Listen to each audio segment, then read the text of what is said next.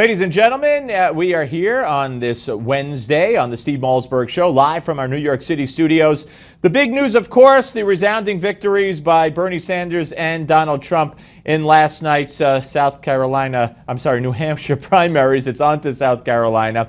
And the news today that Carly Fiorina and Chris Christie have dropped out. Also, Bernie Sanders flew from New Hampshire to New York City on his way to South Carolina to meet with none other than Al Sharpton, trying to get some black support because he's going to need it against Hillary. But there's another story as well. And several conservative uh, blogs and publications have written about this and talked about this.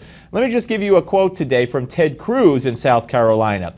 I'm looking forward to wall to wall coverage from Fox News like Rubio got Yes, Breitbart and others, uh, and Dick Morris, our own Dick Morris, last night was the first, and we'll hear from him later on in the uh, in the uh, broadcast, was the first to raise the issue of collaboration between Rubio and Fox. And when you look at uh, some of the highlights, which we will in the next segment, uh, it is kind of curious. Uh, the Rubio defeat being viewed now by some as a significant loss for Fox.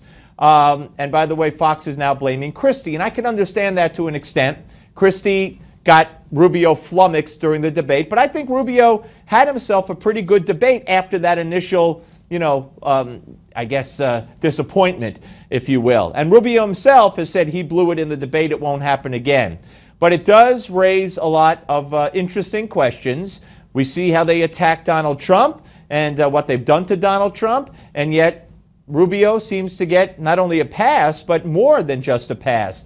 You know, we here at Newsmax, and I can only speak for myself personally, try to be fair. I haven't endorsed anybody. I've been critical of Donald Trump when he's uh, when he's deserved to be uh, taken to task. I've been critical of some of the others, especially hard on Chris Christie because I have a history with him. He's my governor, and I know some of the things he says uh, have not been true.